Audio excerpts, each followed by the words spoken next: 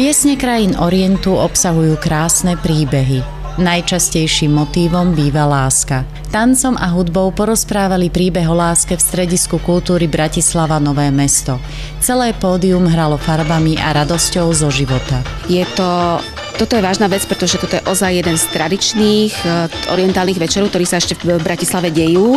A je to už veľa, veľa, veľa rokov a myslíme si, že tá úroveň je stále lepšia, aspoň sa o to snažíme a súvisí to aj s tým, ako sa vlastne ten orient vyvíja. Vy sama sa tiež venujete takémuto tancu? Áno, každá z nás, my sme v občanskom združení 3, každá sa tomu venujeme, tomu tancu, asi ináč by sme ani nedokázali organizovať, pretože to chce kus nadšenia, robiť orientálny tanec, lebo veľmi často sa spája s takými rôznymi predsudkami treba trošičku osvety do toho dať, aby sa vedelo, že teda orientálny tanec má aj svoj folklór, má rôzne štýly, hej, že áno, je to umenie, do ktorého sa treba spridávajú prvky klasického tanca alebo iné veci. Máme tu tance dneska z Turecka, máme tu tance indické, hej, z toho Panžabu a podobne.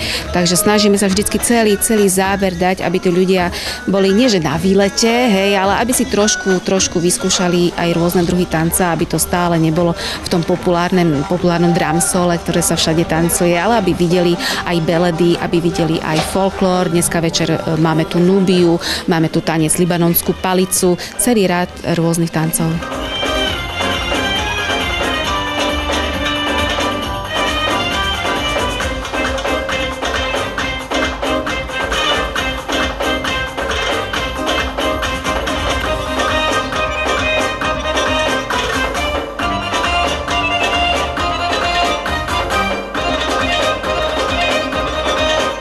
Ja som tuto v takom folklórnom odeve a za tanec gavaze, to je vlastne kvázi cigánsky tanec egyptský a my vlastne budeme všetky tri členky občanského združenia Hafla ten tanec tancovať. Viaceré tanečníčky sa zhodli, že tento typ tanca je láska na celý život. Málo kto z nás vie, že orientálny tanec nie je len vlnenie bokmi a trasenie hruďou. Má svoju folklórnu, tradičnú aj modernú časť. Pri príprave choreografií, no aj pri improvizácii sú dané viaceré pravidlá, ktoré skutočne profesionálna tanečnica rešpektuje. Takže ja som Mirka, som z tanečnej skupiny Rax Farach Trnava, ako aj kolegyňa Aťka a budeme tancovať v tomto kostýme, ktorý máme. Je to nubijský folklór, je to časť z južného Egypta. Je to taká v podstate etnická časť, dá sa povedať, je to samostatné etnikum, ktoré už počas starovekého Egypta patrilo do Egypta. Teraz je rozdelené čiastočne do Egypta, čiastočne aj do Sudánu. Je to také tma, tmavšej pleti sú, ako Arabi, nie sú to čistí Arabi. A je to veľmi taký typický a veselý štýl. Ten tanec, ktorý my tancujeme konkrétne sa zvyčajne v, nú, v tých nubijských rodinách alebo spoločenstvách tancuje obzvlášť na svadbách.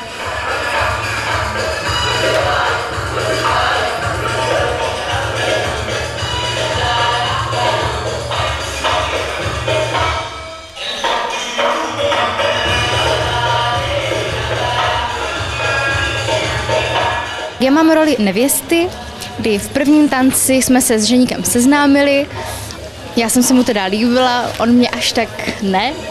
A v druhém tanci uh, budu znázorňovat nějakou smutnou lásku, kdy teda nad ním začnu přemýšlet a bude mě to trápit. A nakonec to teda dopadne dobře, že budeme spolu a budeme mít svatbu. Proč právě orientálné tance? A já jsem jako malá měla hrozně ráda všechno třpitivé, blízkavé látky a kamínky, takže mě maminka přihlásila na orientální tance kvůli tomu. A pak postupně jsem se eh, začala více v tomto stylu vzdělávat, začala jezdit na semináře. Ako dlho sa venujete orientálnym tancom a aký štýl prezentujete? Uh, venujem sa asi 8-9 rokov, uh, väčšinou s tanečnou skupinou, posledné roky aj sola, ale väčšinou ten klasický orient alebo fúzie rôznych tancov s orientom. Kto vám šije kostýmy? Um, kostýmy šijem ja, takto pre skupinu a pre seba a tento akurát nie, ale ten, čo som mala predtým, áno. Aj e, čo bolo prvé tanečné vystúpenie, takže si to tak svojpomocne aj lepíme aj v rámci uh, skupiny. Že dosť dlho to trvá, ale stojí to za to, že nie je taký trh, aby človek si to vedel nejak operatívne zabezpečiť. A je to drina, tento tanec? Tak vyžaduje to veľa času, aj v rámci skupiny sa zosynchronizovať aj solové nacviky, ale je to zároveň radosť veľká, takže človek zabudne na bežné starosti pri tom. Prečo ste sa rozhodli teda pre orientálny tanec? No my tu tancujeme indické tance, sme tu s našou skupinou Šakty a robíme ohňovku, takže my sme práve takí mimo orientálni dneska. Čo je to ohňovka? Ohňová show, tanec s ohňom. Je to náročné tanec s ohňom? No, je to ťažké na koordináciu. Človek musí jednak e, zvládnuť e, prácu so samotným náradím, jednak musí do toho zakomponovať kroky, samozrejme, samozrejme spraviť si tú choreografiu do hudby a ešte to estematizovať, dodať do témy. V našom prípade ja budem dneska robiť orientálnu ohňovku.